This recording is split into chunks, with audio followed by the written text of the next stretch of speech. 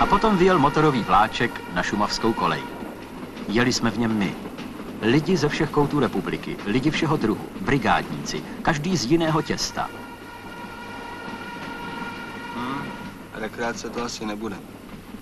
Páni, včera ještě škola a zítra lopata, vláta. Jestli jsem to nepřehnal. Sám bych asi nejel, sotva, ale když jeli ostatní, i Standa a všichni svazáci. Do háje s břitvou. Co pak je to práce pro chlapa?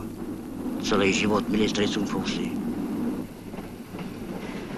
No, práce jako práce. A tohle to se mi zdá nějak užitečnější. Knihařina neuteče. Asi zdrhnu. Možná, určitě. To se jim dělá nábor, když má člověk průšvih. Pár dní a mají mě vidět. Taková brigádička není k zahození. Jde v kanceláři, to člověk nevydělá. Za ten rok to může hodit takových, no, no nejmín. Pitomých šest rumů. No jo, byli skoro denně, ale pro blbých šest rumů je z výplatního nádeník. Prej, jdi si soudruhu upravit poměr k lidem.